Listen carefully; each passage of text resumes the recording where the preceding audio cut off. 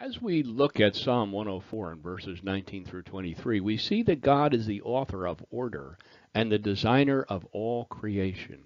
Psalm 104 and 19 reads, He appointed the moon for seasons. The sun knows it's going down. The moon, as well as the sun, is appointed to divide time and seasons, even the division of the year into months. Perhaps in the psalmist's mind, he is reflecting on what has been said in Genesis 1 14 through 19.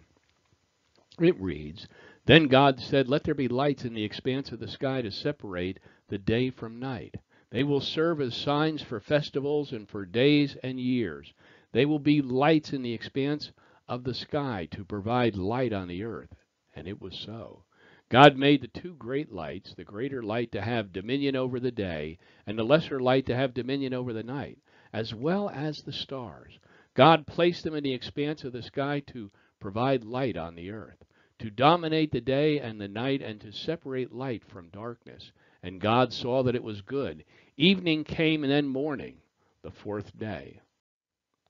Verses 20, 20 through 23 in Psalm 104 read this way You make darkness, and it is night, in which all the beasts of the forest creep about. The young lions roar after their prey and seek their food from God. When the sun rises, they gather together and lie down in their dens. Man goes out to work and to his labor until evening. God does not really have to make the darkness, since darkness only exists in the absence of light. The Hebrew word translated as he makes is pronounced sheath, and it means to bring about or appoint. So perhaps comprehensive wording would be that God permits or appoints the darkness by withdrawing the light. Man is a diurnal part of the creation. Like most other herbivores, our work period is during the day when it is light out, and our rest comes at night.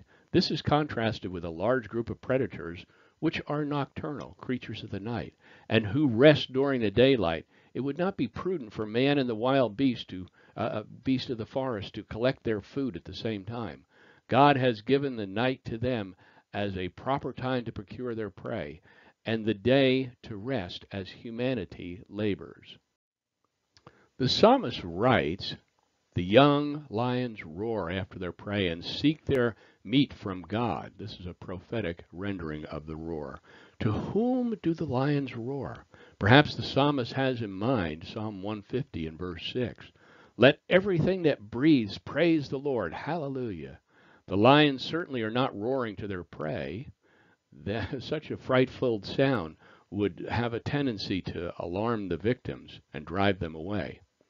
How soul comforting is the thought that the Spirit is able to translate the voice of a lion into a meaningful rendition of thanksgiving to his Creator, just as he can do with the blood washed prayers of all of God's saints.